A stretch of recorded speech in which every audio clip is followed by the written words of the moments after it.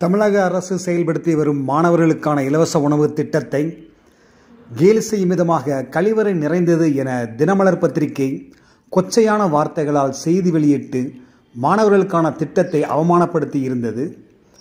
தினமலரின் இந்த கேவலமான செய்திப்பதிவை ஊடகம் சார்ந்த நிர்வாகத்தினர் பலரும் பல்வேறு ஊடகவியலாளர்களும் கண்டித்திருந்தனர். இதற்கு ஒருபடி மேலே போய் தமிழகம் முழுவதும் ஆங்காங்கே தினமலர் பத்திரிகை நிர்வாகத்தை கண்டித்து கண்டன ஆர்ப்பாட்டங்கள் போராட்டங்கள் நடைபெற்றது. மாணவர்களின் உணவுத் திட்டத்தை கழிவறையுடன் ஒப்பிட்டு செய்தி வெளியிட்ட தினமலர் பத்திரிகையின் பல இடங்களில் எரிக்கப்பட்டது.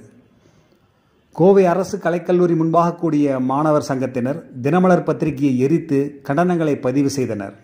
ஏழை பிள்ளைகள் நலன் கருதி பள்ளிகளில் செயல்படுத்தப்படும் தமிழக அரசின் இலவச உணவுத் திட்டத்தை கொச்சைப்படுத்திய தினமலரை கண்டித்து கோவையில் மாஜகவினர் கண்டன ஆர்ப்பாட்டம் செய்தனர்.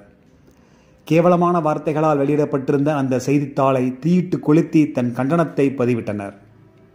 தான் வெளியிட்ட செய்தி தரக்குறைவானதுதான் என்பதை தினமலர் நிர்வாகம் ஒத்துக்கொண்டு மன்னிப்பு கோரியுள்ளது.